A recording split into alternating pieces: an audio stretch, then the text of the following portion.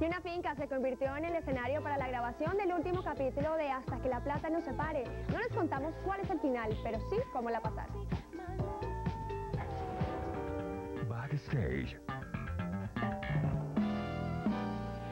Llegó el final de una de las novelas con más rating en la historia de la televisión colombiana, hasta que la plata nos separe, con un final inesperado que el maestro Fernando Gaitán escribió para sorprender hasta a los actores. Creo que hubo de todo, creo que el final del accidente de Méndez nadie se lo esperaba, creo que ver a Méndez en la situación en la que Alejandra estuvo y Alejandra en la que Méndez estuvo es una, un detalle bonito.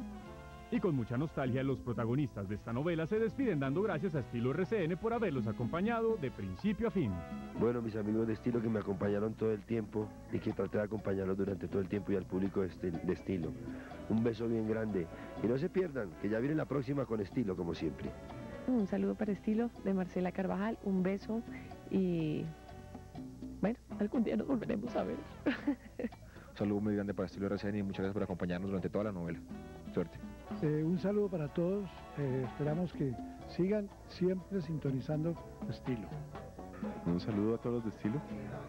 Nos veremos pronto. Era tanta la nostalgia que aunque todos sabemos que la pajarita lloraba por todo, no quiso decir nada ante nuestro lente. No quiero hablar. No quiero hablar. Ni siquiera la yuyubita pudo contener el llanto ante la cámara. Fue una producción súper bonita, hizo reír a mucha gente, ayudó a que, a que los colombianos pasaran un ratico especial en la noche. Y nada, mucha nostalgia, mucha nostalgia. Llega el fin de esta superproducción, pero no se desconecte de nuestra tele porque nuestras novelas cada vez se ponen mejor.